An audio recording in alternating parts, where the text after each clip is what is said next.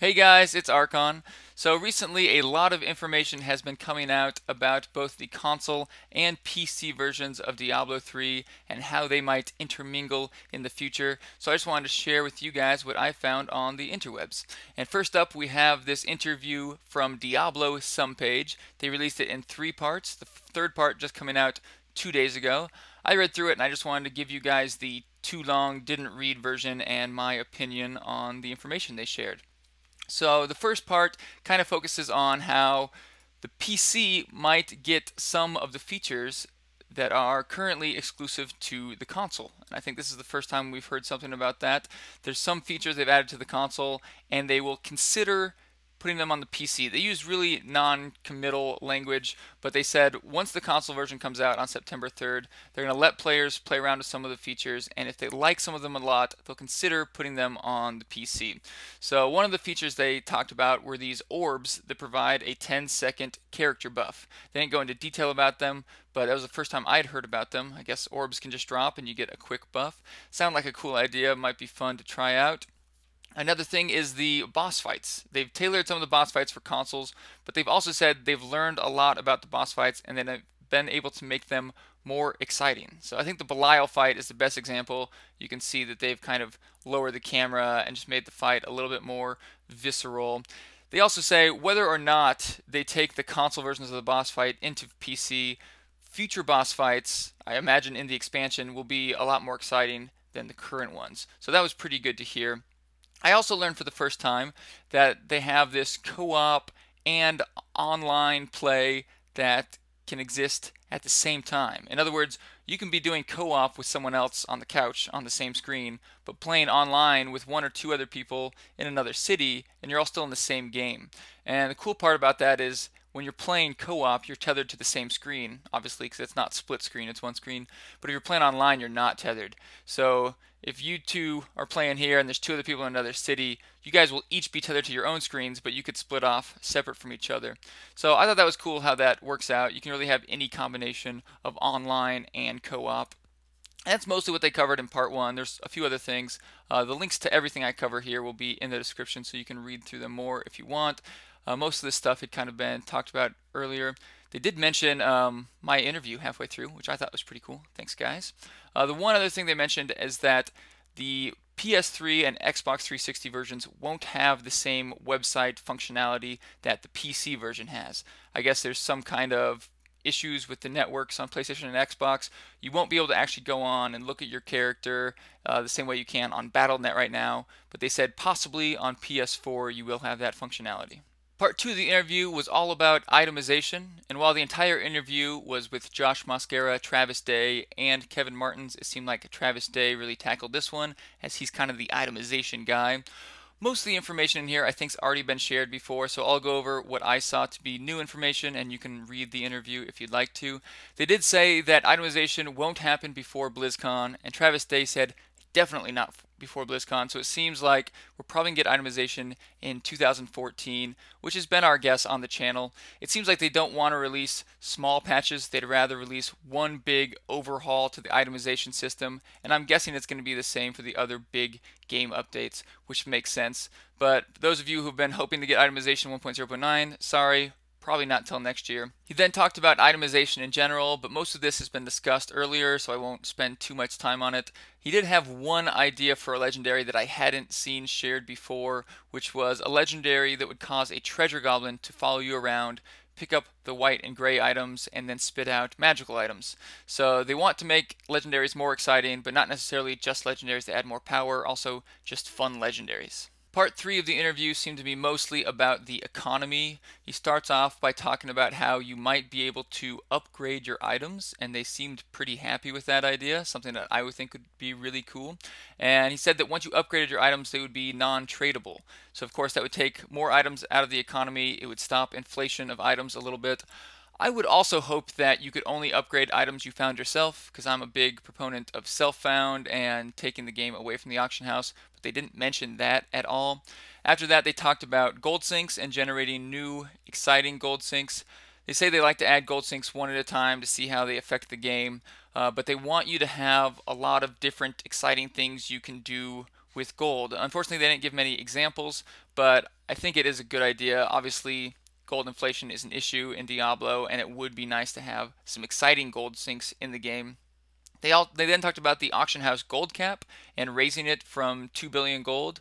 Uh, apparently, it's not as easy as you might think. They said it's not just punching an extra couple extra zeros into the spreadsheet.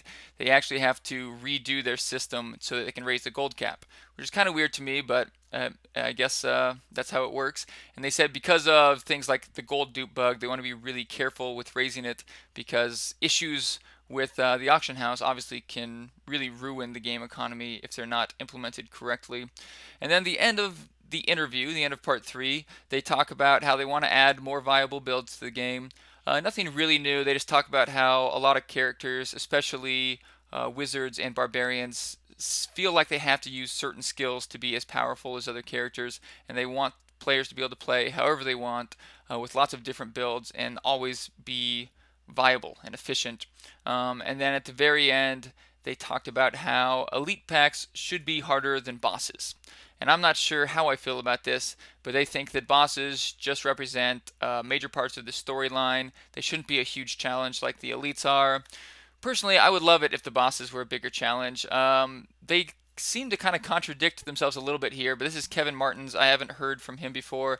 Uh, he was saying they don't really want to incentivize boss kills much, but we've heard from developers in the past that they want to incentivize them more. So I got kind of mixed signals based on that. I really hope they do incentivize bosses more. Um, and like they said, they're going to be making them more exciting. I think they should be more difficult as well.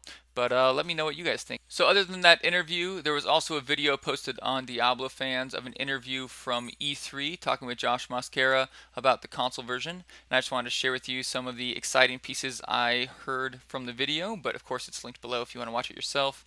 I was wondering how you were going to handle picking up and looking at items in the console version. They touched on it a little bit. Uh, apparently you'll be able to look at items, compare them with your current items, equip or drop them without opening your inventory. So it's all very streamlined. You can just look at them, decide what you want to do, drop them. Uh, they've already said there's going to be less items than there is in the PC version, but they'll be of higher, higher quality. They also mentioned in this video, though, that the items will be targeted to your character. I think this is something that would be nice if it was added to the PC version, but I haven't heard anything about that. Basically, if you're a barbarian, the chances of barbarian items dropping is going to be much higher than for other classes. So you'll be finding a lot of items that are for yourself, kind of like in Marvel Heroes. I think it's a good system and one that would work well on the PC. Uh, and then the only other thing, kind of a small thing, but they said that the right stick is what you'll use to evade. And I was kind of wondering about how the evade mechanic will work. But because uh, the left stick is to move and aim, essentially, you're just aiming in the direction you're facing, the right stick will just have the utility of evading in whatever direction you hit it in. Diablo fans also pulled some blue posts from the Blizzard forums talking about monster density and monster power on the console versions. And uh, they said that monster density will still get buffed when you go up monster powers like it does in the PC version, but it won't be as significant. And they said the reason is due to performance issues. So I guess maybe this, the consoles can't handle that much mob density, but it won't be as significant. They also will have monster power on the console version, but it's going to be a little bit different. They say there's going to be an easy mode, which is like MP0, medium will be MP2, hard MP4, and then Master 1 is MP6. They have Master 2, 3, 4, 5, which goes up to Monster Power 10 uh, respectively. So it's a similar system to PC version, just tailored slightly to the console. So the last piece of information I have from you guys was another blue post, this one written by Lylirra, discussing the differences between console and PC, uh, specifically about itemization. She mentioned that on the console version, it's possible that the white and gray items will automatically be converted into gold. So I don't know if that means that when you walk over them, they automatically give you gold, or if they just turn into gold when you pick them up. But I think that's a cool idea. I would love to have that in the PC version, as right now, white and gray items really have no utility. She then talked a little bit about the development process between console and PC, and she called it staggered development. So sometimes consoles will actually get updates before the PC versions, and then sometimes PC versions will get updates first. I know this is definitely going to upset some people uh, because people don't want to feel like consoles ever getting priority over PC.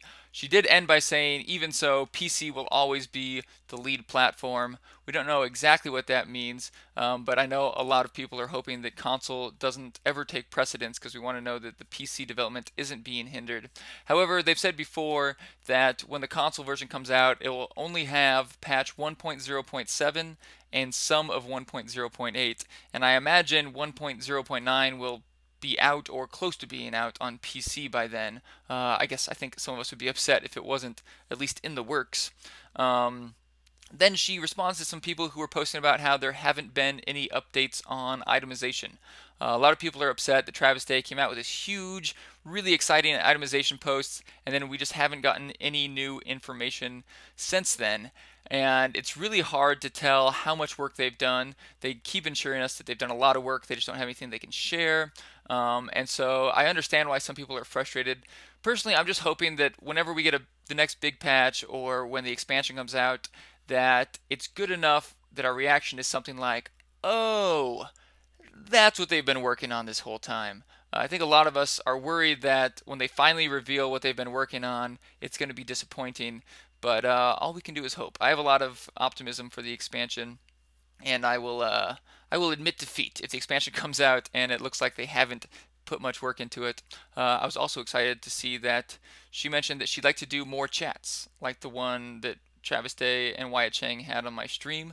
So uh, yeah, Blizzard, you want to do more chats? I'm always available you just let me know. So a lot of information there, albeit most of the information had already been stated before. That's just why I kind of wanted to go through, pick out the new nuggets of information and share them with you guys. But if you want to read through all that, all the links are posted below in the description. I hope you guys enjoyed this video. If you did, please hit that subscribe button and I'll have another one for you soon.